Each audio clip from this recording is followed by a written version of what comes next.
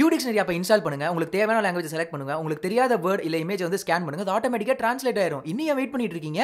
Oscar நமஸ்கார் சர்க்கார் தளபதி அப்படின்ற ஒரு ஒருத்தர் வந்து நான் என்ன சொல்கிறதுனே புரியலைங்க. ஏன்னா வந்து ஒரு ஹீரோ வந்து அவங்க ஃபேன்ஸுக்கெலாம் வந்து ஒரு தலைவனாக இருக்கலாம். இவர் அதையும் தாண்டி. ஏன்னா வந்து அடுத்தது ஒரு விஷயம் பண்ண போகிறார் அப்படின்ற ஒரு விஷயத்துக்காக எல்லாரும் ஈகராக வெயிட் பண்ணிட்டு இருக்கும்போது எல்லாருமே அவரோட ஃபேன்ஸாக இல்லைனா கூட சரி ஒரு நார்மலான ஒரு மனுஷனாக இருக்கும் போது கூட அவரோட படத்தை போய் பார்த்தா அந்த மனசுல வந்து ஒரு இடம் பிடிச்சிறாரு அப்படின்னு தான் சொல்லணும். ஏன்னா அந்த சர்க்கார் படத்தை வந்து நீங்கள் போய் தேட்டரில் பார்த்துருந்தீங்கன்னா அதை ஃபீல் பண்ணியிருப்பீங்க.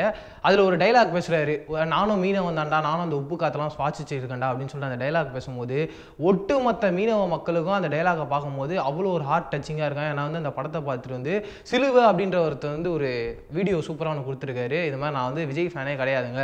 இருந்தாலும் அந்த டைலாக் வந்து தளபதி அவர்கள் பேசும்போது வந்து எனக்கு ரொம்ப சந்தோஷமாக இருந்தது ஏன்னா எங்கள் குறைகளை வந்து எந்த ஒரு ஹீரோக்களுமே சொல்கிறது கிடையாது.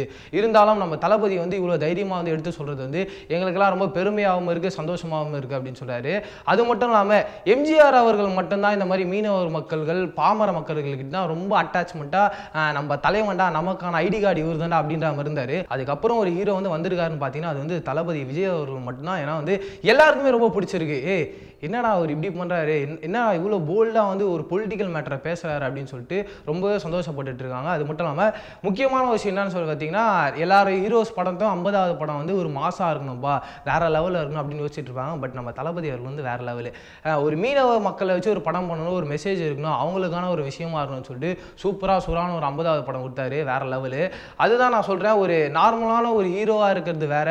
ஆனால் மக்களிடையுமே எல்லாருக்கிட்டையும் ஒரு ஹீரோவாக இருக்கிறது. அதுக்கப்புறம் ஒரு என்னவா மாற போகிறான்னு சொல்லிட்டு எல்லாருமே வெயிட் பண்ணிட்டு இருக்கோம். அந்த தருணத்துக்காக. அது நான் சொல்லி தான் தெரியணுன்றதுல உங்களுக்கும் ஃபீல் பண்ணியிருப்பீங்கன்னு நினைக்கிறேன். இந்த மாதிரி நிறைய பேர் உங்களோட கருத்துக்களை சொல்லிட்டு இருக்காங்க. சர்க்கார் வந்து வேற லெவலில் இருக்குது பொலிட்டிக்கல் விஷயங்கள்லாம் தைரியமாக பேசிக்கிட்டு இருக்காங்க அப்படின்னு சொல்லிட்டு. அதெல்லாம் கேட்கும்போது எனக்குமே ரொம்ப ஹாப்பியாக இருக்குது நானும் படம் பார்த்தேன். வேற லெவலில் இருந்துச்சு. நீங்கள் சர்க்கார் படத்தில் என்னென்னலாம் பிடிச்சிருந்தது? தளபதி அவர்கள் வந்து ஸ்க்ரீன் பிரசன்ஸில் வரும்போது மட்டும் மாசான டைலாக்ஸ்லாம் பேச மாட்டார். ஒரு ஸ்டேஜ் பிளேலையும் வந்து மாசான டைலாக்லாம் பேசுவார். ஸ்டேஜில் வந்து அவர் நின்னார்னா செம்ம மாசாக இருக்கும். அந்த மாதிரி உங்களுக்கு எந்தெந்த டைலாக்லாம் பிடிச்சிருந்தது? கீழே இருக்க கமெண்ட் பாக்ஸில் கமெண்ட் பண்ணுங்க மறக்காம டிஃப் ஃபருக்கு லைக் பண்ணுங்கள் ஷேர் பண்ணுங்கள் சப்ஸ்கிரைப் பண்ணிடுங்க. முக்கியமான விஷயங்க சர்க்கார் படத்தில் நடித்த ஆர்டிஸ்ட் அது மட்டும் இல்லாமல் டெக்னீஷியன்ஸ் வந்து எக்ஸ்க்ளூசிவாக இன்டர்வியூ எடுத்திருக்கோம். அந்த இன்டர்வியூ நீங்கள் பார்க்க மறந்துருந்தீங்க கீழே இருக்க டிஸ்கிரிப்ஷனில் கமெண்ட்லேயே அந்த லிங்கை கொடுத்துருப்போம். அதை போய் பார்த்து ஜாலியாக என்ஜாய் பண்ணுங்க. இதே மாதிரி சூப்பரான வீடியோவில் நான் வந்து சந்திக்கிறேன். அது வரைக்கும் டாட்டா பாய் பாய் சொல்லிக்கிறது. நான் அவங்க பிரவீன் கேஎஸ் பாய் லைக் பண்ணுங்கள் ஷேர் பண்ணுங்கள் நெட் டிவி ஃபோர் யூக்கு சப்ஸ்கிரைப் பண்ணுங்கள்